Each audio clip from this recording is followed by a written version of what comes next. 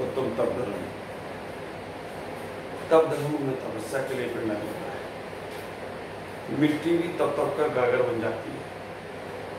इंसान जैसे जैसे तपस्या करता है वैसे वैसे इसके अंदर उत्थान होता चला जाता है। तपस्या तो जीवन में ज़रूर करना चाहिए। क्योंकि हमारे आचार मौसम में भगवान ने कहा है, तपसा निद्राचा इच्छा निरोधा तपा। जो तप से कर्मों की निर्जा होती है। इच्छाओं को रोकने से कर्मों की निर्जा होती है। पुण्य इकट्ठा मैंने कई बार किया है। पाप से बचकर पुण्य में हम संलग्न तो कई बार हो गए। हमने संसार की अवस्थाओं के कार्य छोड़ दिए, संसार की क्रियाएँ छोड़ दी, संसार के पाप छोड़ दिए। हमने पुण्य इकट्ठा करने लगे, धर्म के कार्य करने लग गए, धर्म की चीज़ें करने लग गए। लेकिन उसमें हमने जब तक तो तपस्या नहीं की, तब तक कर्म की निर्जा नहीं बारह प्रकार के तप आचारों के लिए, मुनियों के लिए कहा गया है। लेकिन गृहस्थ में रहकर हमें छह प्रकार के तप करना है कि जैसे रविवार को नमक नहीं खाना, ये भी एक तप।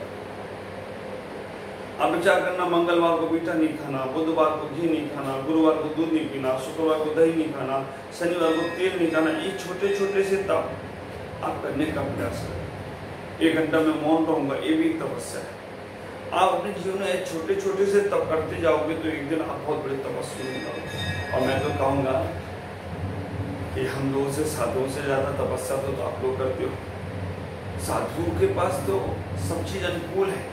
जहाँ प्रतिकूल वातावरण मिले उस प्रतिकूल वातावरण में अपने आप को अनुकूल साबित कर लेना अपने आप को अनुकूल बना लेना अपना मन खराब नहीं करना ये बहुत बड़ी तपस्या है। कभी कभी घर वाले लोग, परिवार वाले लोग हमको बहुत गलत बोलते हैं। हमको इतना सब कुछ करने के बाद हमें यश नहीं देते, मान सम्मान नहीं देते, हमारा दुत्कार कर देते हैं। तो विचार करके रखना, इसमें उनका कोई कर कसूर नहीं है। मेरा ही कोई गलत काम, मेरा ही कोई पाप कर्म कर है। तो आज इतना ही कहूँगा आपसे, कि तपस्या को करने से वो मुनिराज निर्वाण को प्राप्त हो गए। आप घर में रह के तपस्या करें, घर को तपोवन समझिए अपने आप को तपस्वी समझिए और संत ना अनुभव तो समझे सब मन बना दो। चलो, जो है सो चला जाएगा। लेकिन हमें अपने जीवन में तपस्या को करते रहना चाहिए।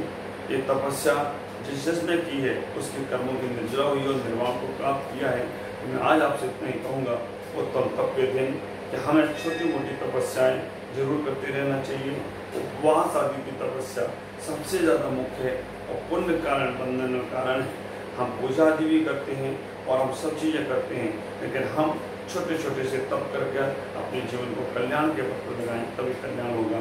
ओम नमः। सबको नमः।